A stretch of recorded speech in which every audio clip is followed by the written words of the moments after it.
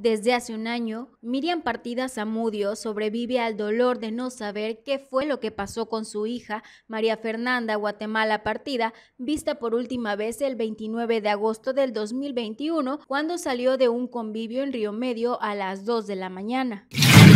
Sus amigos son los que dijeron, eh, del convivio que ella fue, ellos son los que dijeron que había tomado un taxi a las 2 de la mañana no tomaron placas, no tomaron nada, no hay nada ¿En qué de... Lugar, ¿En qué lugar lo En Río Medio. ¿Y hacia dónde se dirigía?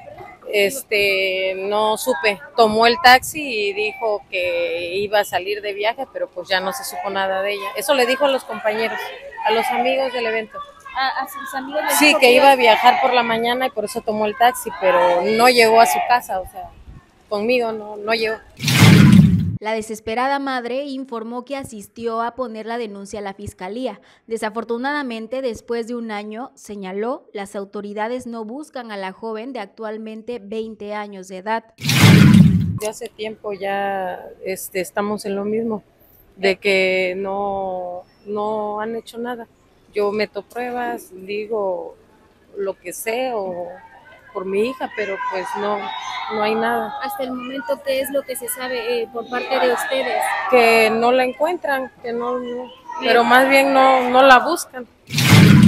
Miriam Partida detalló que conforme pasaron los días, las sospechas ponían a la expareja de la joven como presunto responsable de la desaparición. Sin embargo, las autoridades siguieron sin hacer nada y a la fecha el sujeto y su familia se fueron del estado. En búsqueda de alguna respuesta o pista que la lleve a encontrar a María Fernanda, Miriam se acercó al colectivo Solecito, pero su exigencia de justicia con la fiscalía continúa vigente. No, no dicen nada, voy y dan evasivas. No me recibe nadie. No hay nada, no hay evasivas, no. Por eso ando aquí, a ver si aquí logro saber algo de mi hija. Me apoyan aquí, porque no, no nos dicen nada. Que la busquen, que trabajen, que la busquen por donde sea, para que yo sepa de mi hija algo, porque pues ya ando nada más sobreviviendo sin saber de mi hija, nada.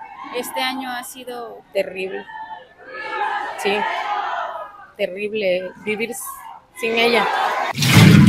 Informó para Imagen del Golfo Mildred Lara.